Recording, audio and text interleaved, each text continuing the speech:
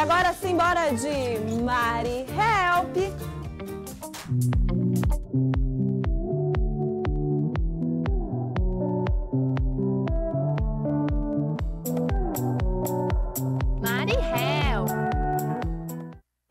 O assunto é sério. Na pandemia, mais pessoas passaram ou ainda estão passando pela clássica situação de falta de salário no mês, né? Ou seja, o dinheiro que entrou não deu para cá com todas as despesas. Nesse cenário é que as pessoas têm feito de tudo para conseguir uma renda extra. De acordo com uma pesquisa realizada pela plataforma de negociação de dívida Acordo Certo, quase metade dos entrevistados ouvidos já vendeu algum item de casa para conseguir pagar contas. Olha que triste! 77% desses entrevistados disseram que gostariam de ter uma atividade extra para conseguir mais dinheiro, mas não sabem como fazer. Aí eu te pergunto, faz parte desses 77% desse estudo? Quer complementar a renda, mas não sabe por onde começar? Então, peraí que Mari Verdun tem a solução. 15 dicas de como fazer renda extra todos os meses. Na quarta passada, a gente antecipou o assunto e nós vimos oito dicas. Agora, a gente acompanha as sete dicas restantes. Bora acompanhar então! Nath, oi pessoal, boa tarde. Olha eu aqui de volta. Bom, na semana passada eu disse para vocês que tinha 15 sugestões de como aumentar pelo menos 10% da sua renda. Já falamos aqui 8, entre elas pet sitter, cuidar de crianças e também professor particular. E conforme prometido, hoje volto com a segunda e última parte contendo mais 7 sugestões que você vai investir pouco e ganhar muito. Então vamos lá? Dica número 9: vender o que está parado. Dê uma geral aí na sua casa e eu garanto que você vai encontrar objetos que você nunca utilizou. E vai por mim. Se você juntar tudo e vender, essa renda extra pode ser a salvação do seu orçamento no fim do mês. Dica número 10: vender produtos em consignação. Vender em consignação é uma ótima alternativa para gerar mais dinheiro, sem precisar gastar com isso. Existem empresas especializadas nesse tipo de negócio e vão te acolher muito bem se você quiser ser um vendedor.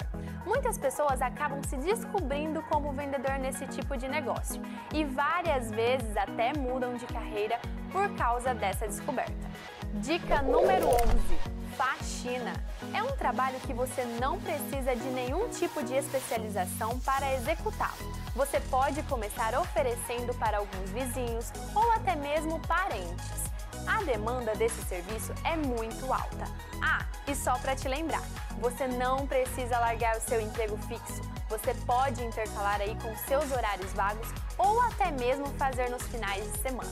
Dica número 12: aluguel de garagem. Se você tem uma vaga de garagem e não tem carro e está lá parada, alugue esta vaga. É renda garantida. Porque a demanda de automóveis é cada vez maior. Dependendo da família, tem umas que tem até três carros. Você pode alugar para um vizinho que tem um automóvel, mas não tem garagem, ou até mesmo nos finais de ano, que chega muitas visitas e as pessoas que recebem não têm espaço para colocar o carro das mesmas. Dica número 13: lavar roupas. Pode não parecer, mas não ter o trabalho de lavar roupas no final de semana ou durante a sua folga já dá uma tranquilidade, né? Principalmente quando você tem aquela montanha de roupas para lavar e mais um monte de serviços para fazer. Então, você que tem o capricho de lavar as roupas e deixar bem cheirosinhas, pode aumentar a sua renda com esse trabalho. Dica número 14: limpar piscinas. Limpar piscinas exige um pouco mais de conhecimento, pois você tem que saber qual o produto ideal para tratar a água. Mas esse serviço pode se tornar fixo, porque além de você ter sempre os mesmos clientes, não importa se é verão ou não, a piscina terá que estar sempre limpa. E vamos lá para a última dica: cozinhar para fora. Me fala quem fica sem comer? Ninguém, né? Ainda mais nos finais de semana, quando tem aquela visitinha ou em datas especiais. Então, meu querido ou minha querida, se você sabe fazer aquelas guloseimas tanto no doce como no salgado, te garanto que será um sucesso esse investimento.